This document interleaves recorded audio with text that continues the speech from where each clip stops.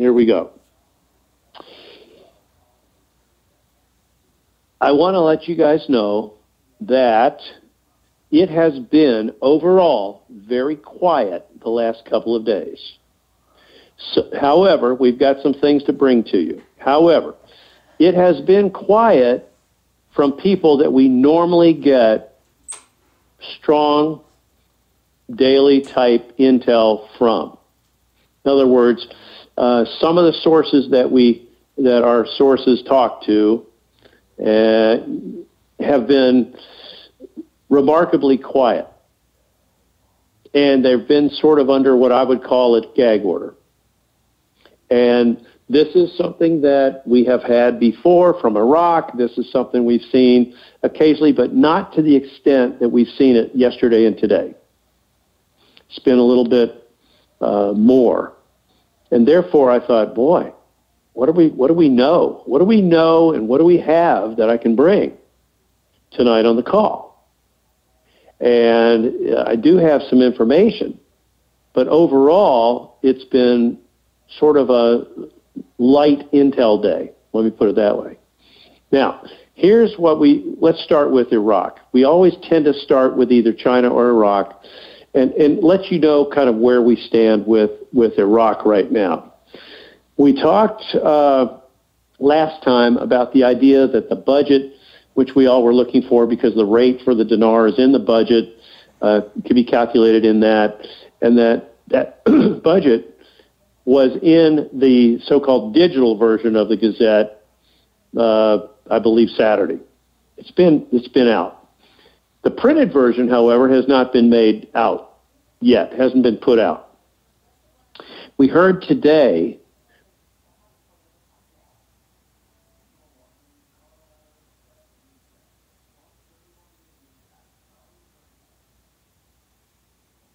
it to be revealed tomorrow in the Gazette in Iraq. Now, that's Wednesday. Wednesday and Saturdays are the printed version days. And because Iraq is nine hours ahead of the East Coast with daylight savings time, uh, it's quite possible that that printed version is out even now at this time. I'm going to say it's probably going to be sometime tonight, whether it's between now and midnight or whatever, that that is known. Okay? I may find out about it after the call. I don't know. But I'm going to say that that is a good final thing that I don't know if it needs to happen for us to go, but I think it will happen tomorrow morning Iraq time, which is about now. Okay? So, that tells us, and then we also know from our Iraqi contacts, the key cards, uh, the ones that I know about uh, have been activated and show a nice rate in that account for the Iraqi dinar. Higher than, mm, well, we would just say we would call it a very good uh, screen rate. I asked my contacts, was this something we would call uh, an in-country rate? Because it is on the key cards from Iraq. And he said yes. So if it is, in fact, an, an in-country rate for Iraq, it's quite good. Doesn't mean it's going to be what we get. We should have better options than that. But let me say that it's highly, it's it's a good rate, strong rate, and it's a it would be a, a great rate even for exchange.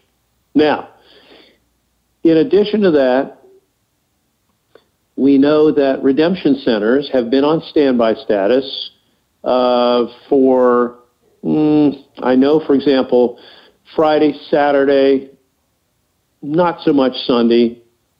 Uh, yesterday, we're still on standby status, meaning they are prepared for this to go at any time. Any time now. Uh, it's cool to be on that status. We know that the uh, the people that have been told to report to work at the redemption centers. The staffing, let's call it the staffing, is at full capacity for tomorrow through the end of the month, which is only four days, right? Tomorrow's 28th, 29th, 30th, 31st. Boom, end of the month through Saturday. Okay? Now, that's interesting. And I don't know when the public, so called John Q public tier five is going to start. It could be as early as Tuesday, which is the 2nd of April. I don't know that officially, but I've heard that. It may be true. I'm going to say that they do want the redemption centers to get going and pull the ZIM in uh, in at as short a period of time as possible.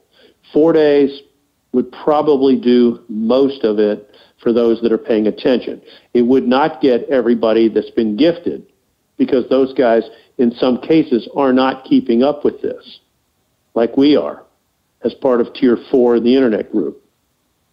Okay, so we've got good timing based on that. Now, you guys should know, and maybe know already, that China told us they were going to have their gold backed yuan out and available on the 26th, which is yesterday. They did what they said they do. They do have a gold backed yuan. We have people involved in the trading of that as a future.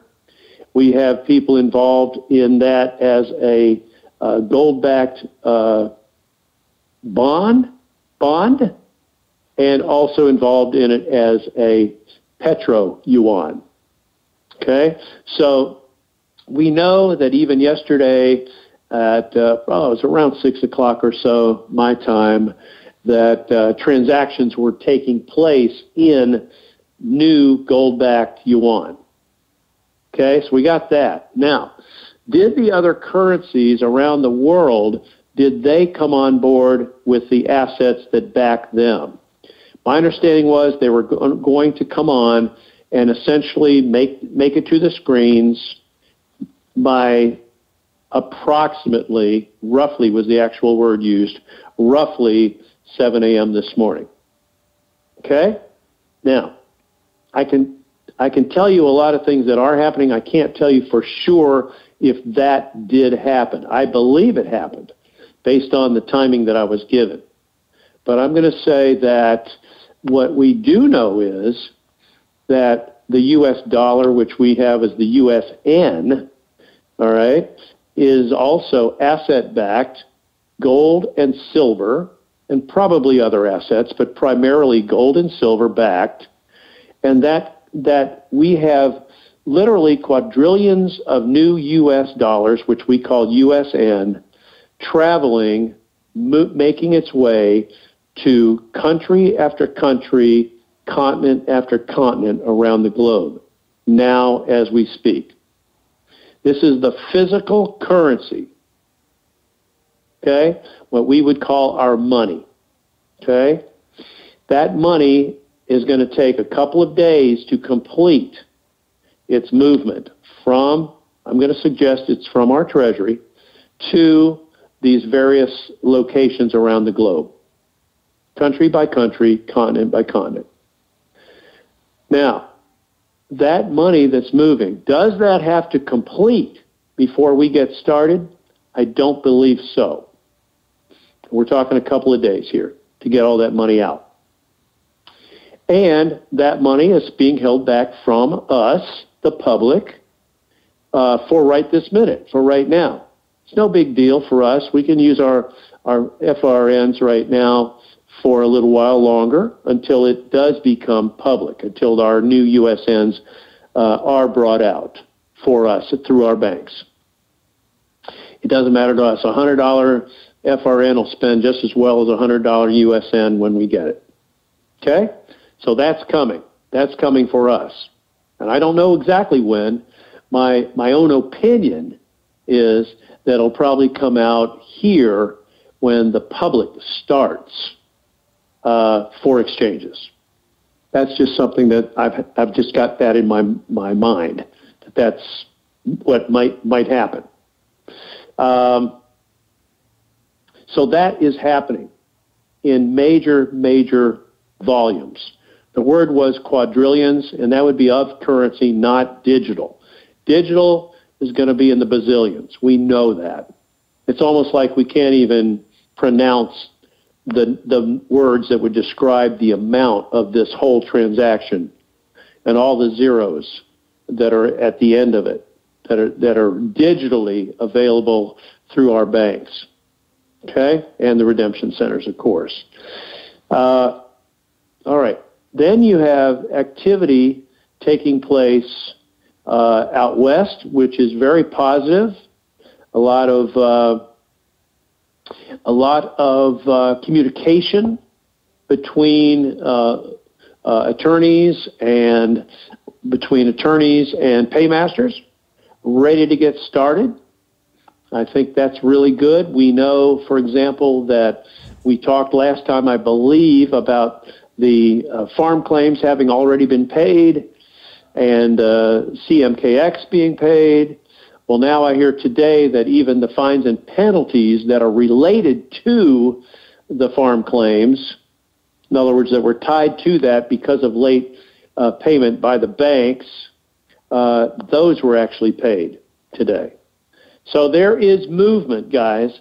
There is stuff happening behind the scenes, a lot of things happening behind the scenes that we're not quite seeing yet. Okay? We do believe the language for the uh, U.S. dollar being gold backed or returning to the gold standard was in the uh, omnibus bill that was passed uh, a few days ago. And that that language that was put in there was put in there, and that's one reason that it was signed uh, by the president to have this uh, RV essentially take place uh, in the timing that they designed. We've heard from Treasury sources really positive things today about um, the money movement around the world, meaning our currency movement, um, possibly other currencies as well. It might not just be the U.S. Fed. It could be other currencies. It could be the the the Chinese yuan. It could be other SDR currencies, you know, for special drawing rights, for that matter. But the point is, there is movement.